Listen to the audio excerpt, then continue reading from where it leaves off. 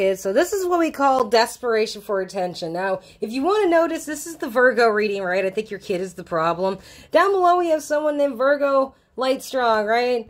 Virgo Lightstrong had a lot of things to say. Virgo Lightstrong has only been on YouTube for this many days, since the 23rd, which is like what? Like over a week now? Close to a week? Maybe more than that. What's the second? It's probably like a week ago by this point, you know. But yeah, that's that's just like look at like like. And I just want to point out this is supposed to be a Virgo, right? You weren't complaining when you go him. I'm sorry, you need like you need to practice your English a little more if you're gonna talk my language. I'll speak your language, but I don't know what the fuck that means. I hope y'all do because I'm kind of I'm kind of lost. Who's she referring to? Is he? I have no fucking clue. I'm pretty sure this is Kenyatta, though. Because Kenyatta's the only motherfucker I've ever seen that comes in with a full ass argument. But I'm literally only allowed to know what's going on halfway through, and then she expects me to continue it. She, I like, I don't know. This bitch got a weird attitude, but I know it's her.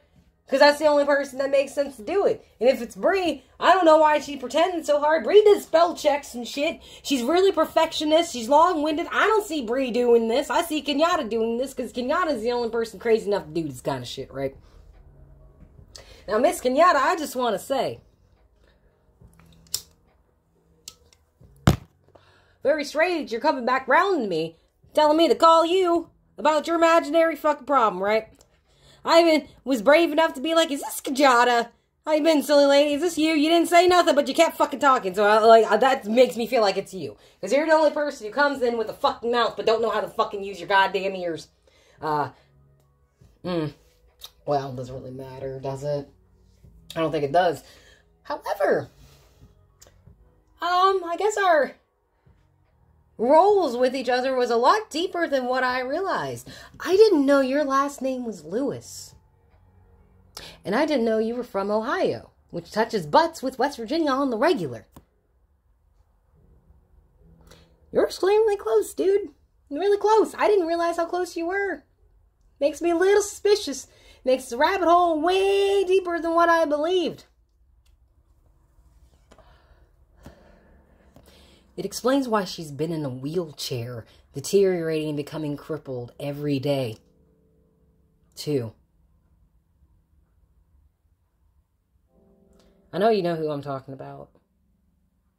I'm, I'm not explaining shit to nobody. You, my dear, know exactly who I'm talking about. Because we know each other. Well, you know me. How, I don't know, but I don't think it really matters. However, I will say, girl, it is not a good idea to be coming back over here thinking that uh, you're going to talk to me any sort of type of way. I gotta take a shower, get ready for work. You know, I'm just, I don't understand you. I don't know what you're trying to do. I personally don't even give a shit, honestly. Um,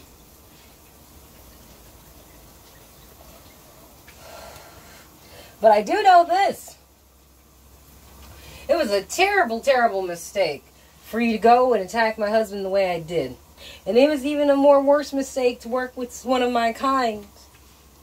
To try to frame me for all the shit that you caused and created. And it was even a worse idea for you to come over here trying to bother me like I'm going to give a shit and give you credit. I don't know what the fuck you expected from me. Hope you have a good day. Take care of yourself. Bye-bye.